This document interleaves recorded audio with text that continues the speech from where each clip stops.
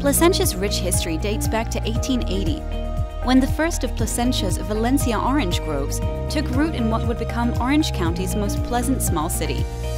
Today, with a population of over 50,000, Placentia has grown with the speed of Southern California while still retaining its historic charm and family friendly character.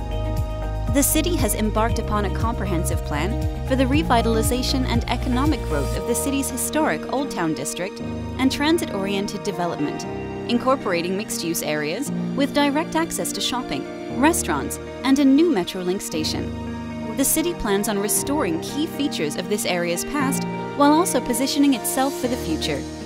Clean streets, safe neighborhoods, and upcoming development projects are building the bridge between Placentia's historic past and its exciting future.